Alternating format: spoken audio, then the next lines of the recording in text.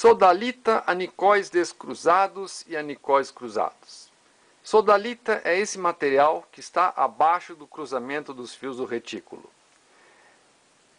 É um mineral incolor, de relevo baixo, que se confunde anicóis descruzados com os outros silicatos que compõem a rocha, não tem clivagem visível, não tem nenhum aspecto diagnóstico visível, né?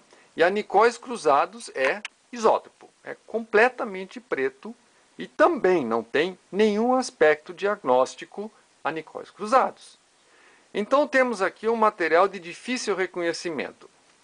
Pode ser confundido com vários outros minerais, como por exemplo nefelina, de baixa birrefringência, pode ser confundido com analcima e fluorita. Esses dois podem ter clivagem, mas, por exemplo, uma fluorita sem clivagem pode se apresentar muito semelhante com a sodalita.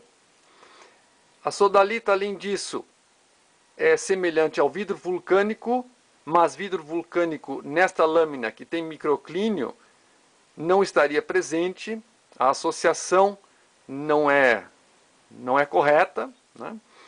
E a sodalita preta desse jeito e de relevo mais baixo, inclusive, que os outros silicatos da rocha aqui, poderia até ser confundida com um buraco na lâmina. Então, durante a confecção da lâmina, se uma porção da lâmina se solta e é arrancada durante o processo de desbaste, sobra um buraco e, eventualmente, seria possível confundir um buraco da lâmina com a sodalita.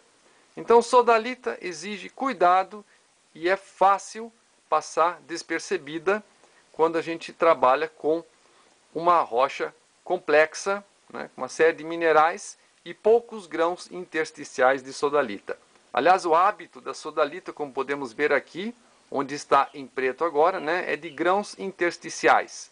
Não existem grãos euédricos, subédricos, né? É esse material intersticial. Aqui estamos com a sodalita no cruzamento dos fios.